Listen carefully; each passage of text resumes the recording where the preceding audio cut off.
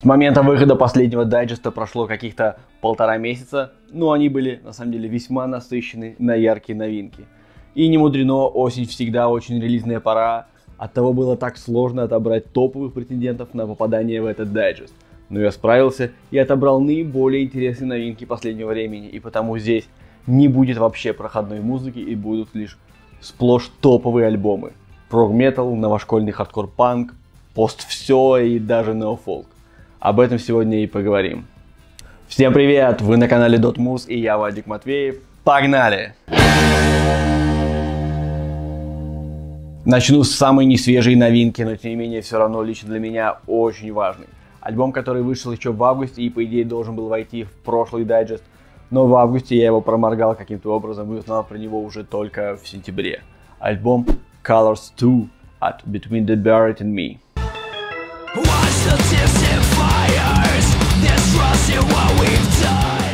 Сейчас будет э, немного ностальгии и истории моей юности, так что если вам это нахер не упало, мотайте сразу вот сюда. Я люблю Between the Buried and Me уже очень давно, лет 15 точно. Впервые про них узнал, наверное, году в 2005-2006. В то время потихоньку набирал обороты как раз дедкор. Всякие Black Dahlia Murder, Job for a Cowboy, Despised Icon и прочие All Shall Perish захватывали молодые умы. Свое знакомство с Between the Buried and Me я начал с их второго альбома The Silent Circus. В то время уже вышел, я знаю, их культовый Аляска, но мне почему-то на глаза попался именно The Silent Circus. И вот на Get Albums или Funky Souls, уже не помню, откуда я скачивал свой первый альбом, но помню, что тогда там стоял тег Progressive Deadcore, и меня это заинтриговало, потому как простой дедкор я не вкуривал, хоть и вся прогрессивная молодежь начинала уже потихоньку ссаться кипятком с этого жанра, я же очень холодно встречал дедкор. И до сих пор, кстати, так и не смог распробовать дедкор. На мой вкус жанр сильно переоценен, и я рад, что хайп вокруг него утих. Так и вот, тут тег Progressive Deadcore. Тогда это было в новинку, и я скачал, я послушал, и я кайфанул. Это мне было по вкусу. Не прям восторг, но это была та форма дедкора, которая мне более-менее понравилась.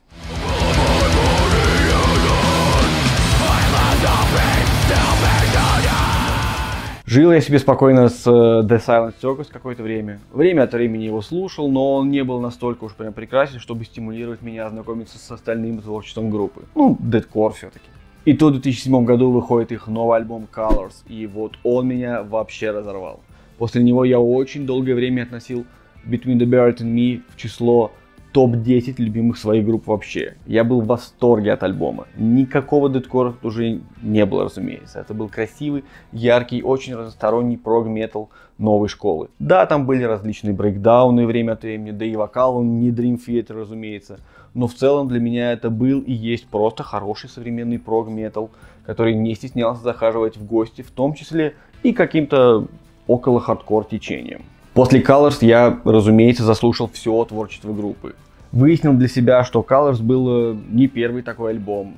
Тектонические изменения произошли уже на предыдущем альбоме Аляска. Но для меня Colors так и остался вершиной все равно. И с тех самых пор я отношу его к одному из тех альбомов, который невероятно сильно повлиял на меня и на то, как я отношусь к музыке.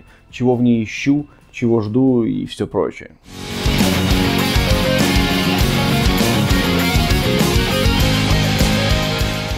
Однако все последующие альбомы лично для меня даже близко не приближались к Colors. Даже многими обласканный ком Эклиптик я не смог, признаться, оценить.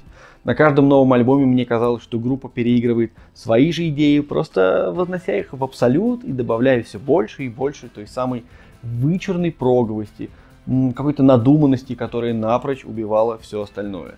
Не скажу, что последующие альбомы были плохие, нет. Э, двуглавный альбом э, Автомата я даже в некотором смысле оценил больше обычного. Но сердечко и от него все-таки не ёкало. И по итогу со временем группа для меня погасла, и я уже перестал ждать от них чего-то, что мне искренне понравится. И вот выходит вторая часть Colors. И как же это охуенно! Если для того, чтобы снова начать писать крутые запоминающиеся песни, но не вымученные умнейшими заворотами, группе нужно было лишь назвать альбом Colors, чего же они столько времени ждали?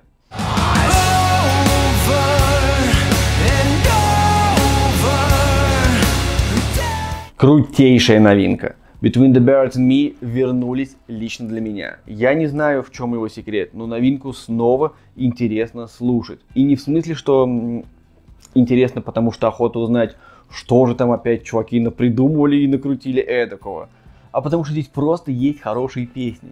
Да, по-прежнему закрученные, длинные, сложные, проговые все из себя, но тем не менее здесь снова есть цепляющиеся куски, запоминающиеся мелодии, хуковые вокальные партии и все, что превращает дрочево в песню.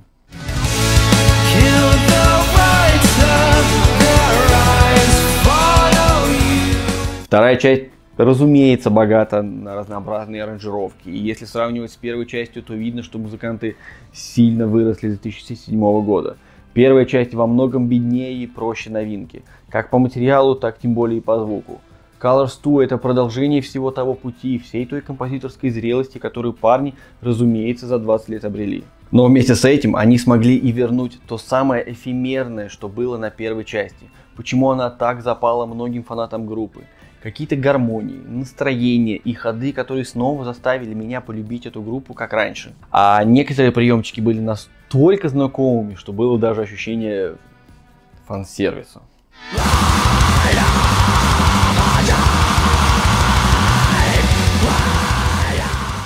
Что по итогу? Альбом охеренный. Лучше ли он первой части? Объективно, как будто бы да. Объективно это как будто бы вообще лучший альбом группы. Субъективно же, первая часть, конечно же, навсегда попала мне в сердечко и там и останется.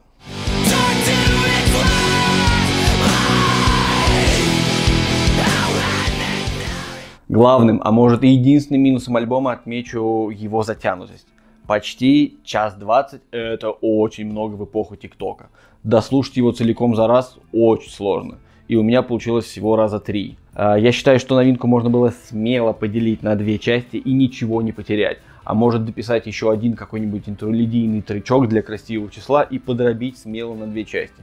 Было бы красиво. Colors, Colors 2 и Colors Free. В остальном же альбом пушка. Все фанаты наверняка уже послушали, а тем, кто не знаком с группой, могу смело рекомендовать.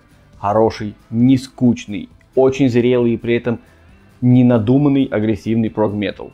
9 верните мне мой 2007 из 10. Второй альбом, про который хочется рассказать, новинка Hey What от группы Low.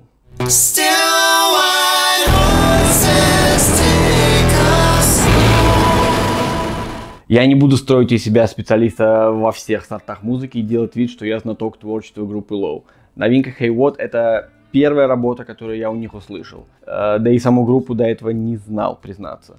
Про слоукор слышал, но никогда им не интересовался. Однако впоследствии я пробежался бегло и по некоторым остальным релизам группы, и если среди вас есть те, как и я, которые ни хера не знали про этот их слоукор, то вот знаете, что новинка вам его тоже не откроет. Слоукора на нем нет. Лоу играли слоукор в 90-е, а сейчас играют нечто иное совершенно. Always looking for that one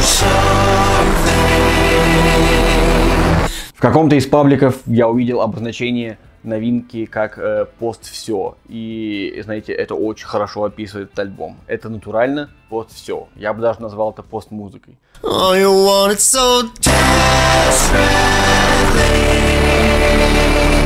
Музыка новинки хоть и продолжает направление предыдущего Double Negative, но делает это как-то добрее, нежнее и даже чутка позитивней. Но несмотря на это, музыка все равно очень напряженная, очень минималистичная, но ни разу не простая. Ее не получается назвать многослойной, но и при этом она полна кучи разных мелких нюансов, деталей, каких-то звуковых хитростей, которые в сумме заполняют собой все пространство в округе, словно какой-то плотнейший технодет.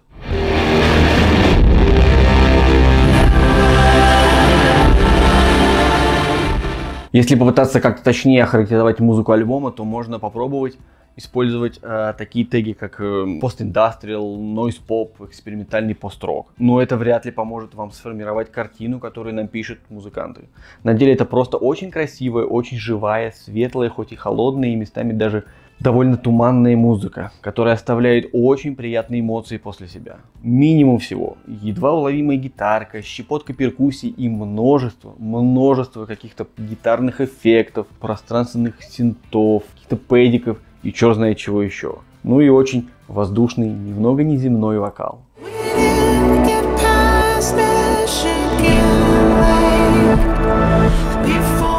Я небольшой специалист подобной музыки, поэтому аналогии мне сложно подобрать.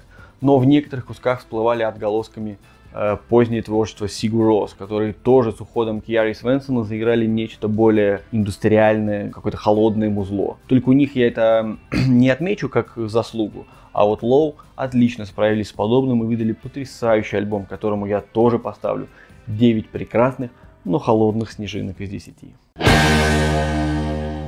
Кстати, друзья, обо всех сегодняшних альбомах и не только я уже коротенько писал в своем телеграм-канале.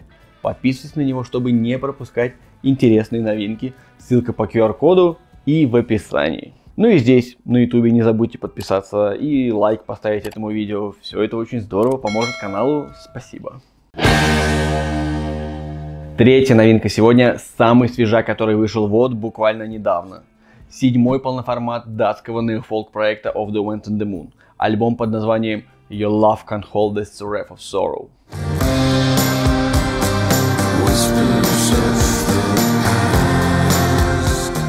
Почти уверен, немногие из вас знают, кто такие Of the Wind and the Moon. Так что вот вам краткая справка. Проект был основан Ким Ларсоном, некогда гитаристом Dead Doom группы Saturnus. Однако оттуда он ушел довольно быстро ради того, чтобы играть то, что он всегда и хотел дарковый неофолк, вдохновленный Death and June, Current 93 и другими различными фолк-формациями.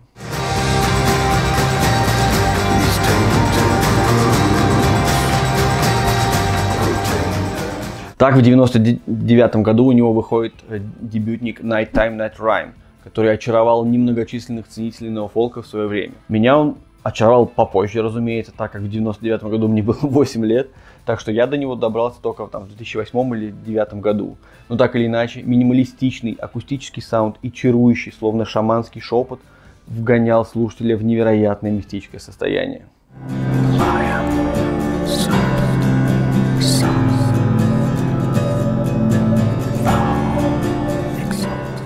Примерно такой и была музыка Кима и на последующих альбомах Emptiness, Emptiness, Emptiness, Lucifer и Sonneheim. Музыка со временем усложнялась, добавлялось большее количество инструментов и различных аранжировок, но в целом рецепт был схож. Акустика, шепот, минимальная перкуссия и периодически приглашенные там аккордеон, какие-нибудь клавиши или кто-нибудь еще. И вот в 2011 году, спустя 5 лет после Sonneheim, выходит легендарный The Long Descent, Альбом, который очень сильно вознес группу, так что про нее узнали и люди далекие от неофолк тусы. Альбом, который стал сильно богаче всего предыдущего творчества Кима. Вокал стал сильно разнообразнее. Теперь это реже шепот, а чаще простое, но все-таки пение.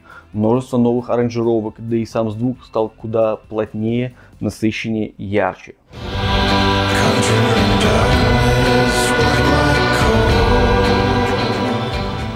И вот в 2021 году, спустя 10 лет после Lone Descent, долгожданная новинка Your Love Can't Hold This Wrath of Sorrow. Формально между ними был еще один альбом в 2019 году, но то был альбом редких неизданных вещиц из раннего. А вот полноценный новый материал вышел только сейчас.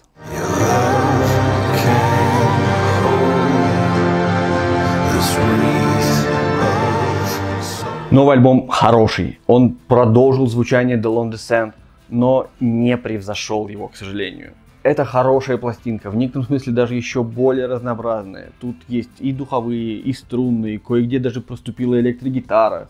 И есть даже одна немного выбивающаяся, э, очень жесткая индустриальная нойзовая вещица. И есть наоборот очень красивая барочная интерлюдия. Все это хорошо заполняет пространство, но вот хитов уровня Sunspot тут не оказалось. Чего таким не дожал.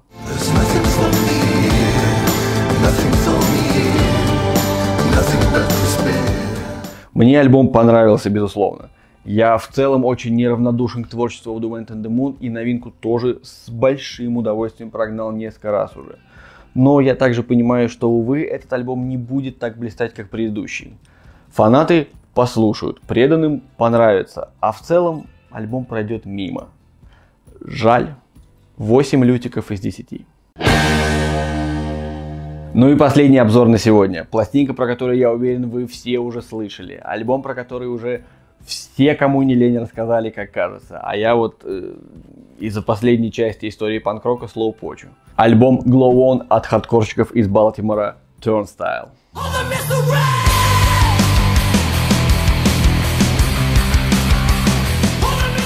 С группой меня познакомил один мой кореш незадолго до выхода альбома. Познакомил он меня с ними через э, четырехпесенный EP Turnstile Love Connection, который гремел все лето. Я про саму группу слышал, но как-то не было желания знакомиться, так как снобствовал и думал, что опять юные хардкор-киды все те же идеи ее в крю переигрывают. Но тут кореш настоял, я такой, ну ок, послушал и охуел.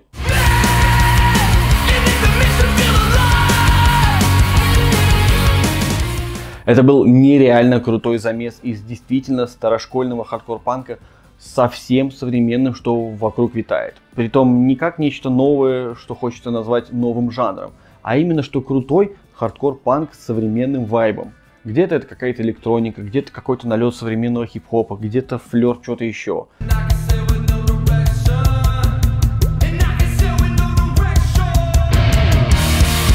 Важно, что это все не мешает оставаться ему на 100% трушным хардкор-панком, но при этом безумно свежим и запоминающимся.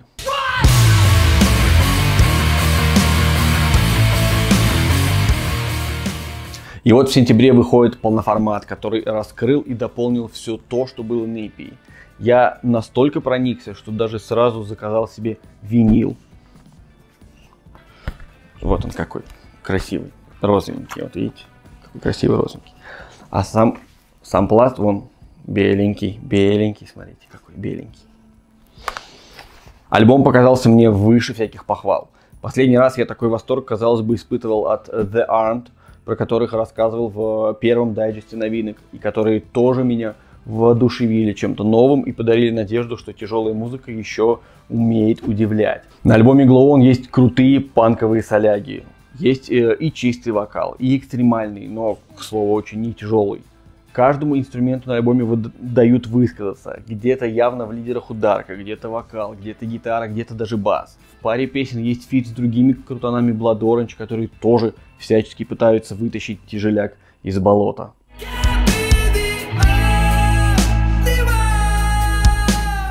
В итоге песни льются одна за одной, словно карамель. Тебе вообще не нужен передых от них, и ты жадно поглощаешь этот альбом.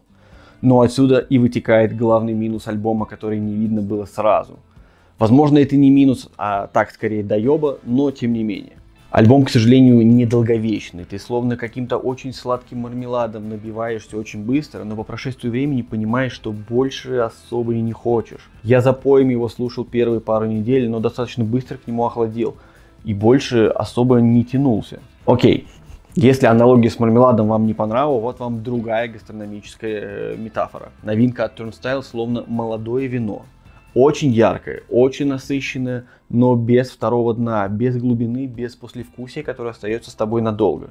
И это не потому, что оно плохое, а просто потому, что ему нужно время, чтобы насытиться дополнительными оттенками и нюансами. И вот у Turnstile потенциал для этого всего вроде есть но чисто субъективно мне альбом быстро надоел. Даже так, он не надоел, я все еще его могу послушать с большим удовольствием, но просто он как будто перестал меня удивлять. Он очень сильно удивил меня в самом начале, а потом, когда первое впечатление спало, второго более глубокого синка не случилось. Как, например, было с теми же The Armed, которые я все еще периодически вспоминаю и с большим интересом переслушиваю.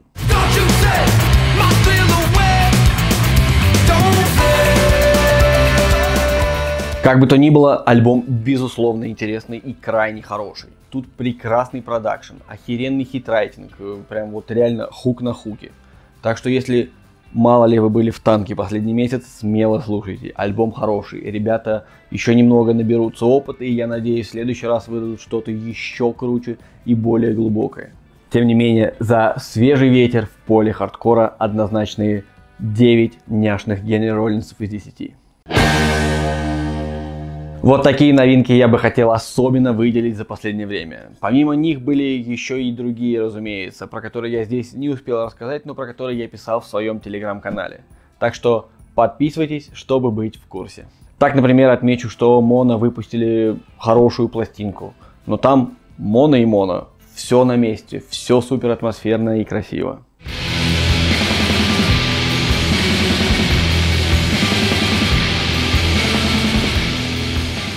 Австралийские панки Emil and the Sniffers издали хороший современный гаражный панк-рок.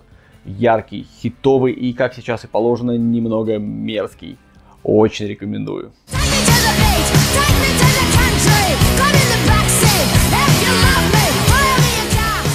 Аборт, опять же, выпустили давье. Там тоже без сильных изменений. Бельгийцы молодцы. Лепрос выдали очередную порцию. Если бы Мьюз играли прок то Ash Company вернулись под новым именем Free Ash Company. Full of Hell опять же выдали порцию нового свежего разносилова. Ну и старички Yes выпустили свой 22 альбом.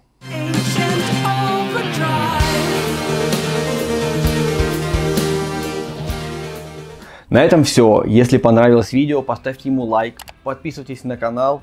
А если еще не видели, посмотрите мою последнюю часть истории панк-рока про десятые года. Также напоминаю, что дополнительно поддержать канал вы всегда можете простым переводом любой суммы по простой ссылке в описании ролика. Там же будут ссылки на все сегодняшние альбомы. Всем спасибо за просмотр и пока-пока.